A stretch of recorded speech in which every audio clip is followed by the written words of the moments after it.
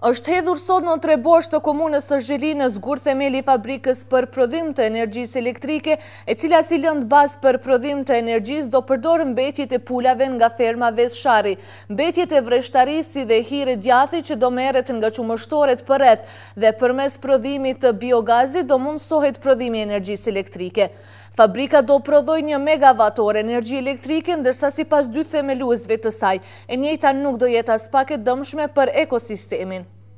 Për realizimin e këtij projekti, në Vezë Sharri është punuar vite me radhë. Përkrah ekspertëve vendorë për të gjithë analizat dhe testet janë konsultuar inxhinierë dhe ekspertë gjermanë, të cilët na ofruan formulën më të mirë për energji elektrike alternative me të cilën do të jepet kontribut i veçantë në mbrojtjen e ambientit jetësor.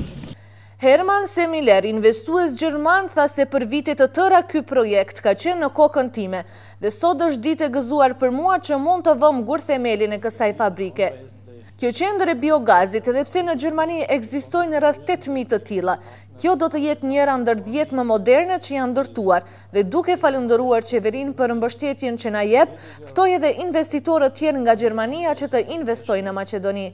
Këtë investim e ka përshëndetur dhe cilësuar si shumë të rëndësishëm për Maqedoninë, ministri i Ekonomisë Valon Saraçini.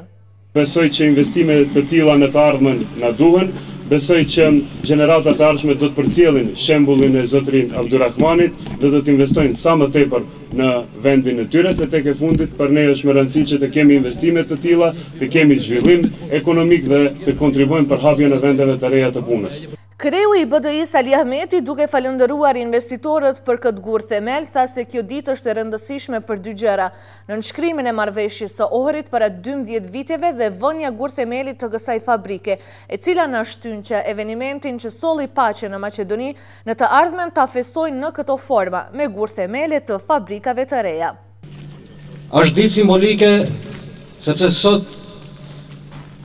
e dymbëdhjetë vite me radhë kemi bërë akademi, kemi bërë simpoziume shkencore, përkujtime, gjithashtu edhe sot kryetarë komunash, funksionarë, kanë bërë përkujtime, organizojnë simpozium dhe debat mbi Marrëveshjen e Ohrit, por këtë vit, me rastin e dymbëdhjetëvjetorit, ne vendosëm të aplikohet edhe një mënyrë tjetër me rastin e Marrëveshjes së Ohrit, investimet, sepse vetëm. Me ndryshimin e statusit politik dhe juridik, nuk zgjidhen të gjitha problemet për shqiptarët në Maqedoni dhe për qytetarët në Republikën e Maqedonisë. Duhen investime, duhen vende të reja të punës. Fabrika pritet të lëshohet në përdorim pas një viti e gjysmë, ndërsa në të njëjtën kohë edhe do kyçet në sistemin energjetik të vendit.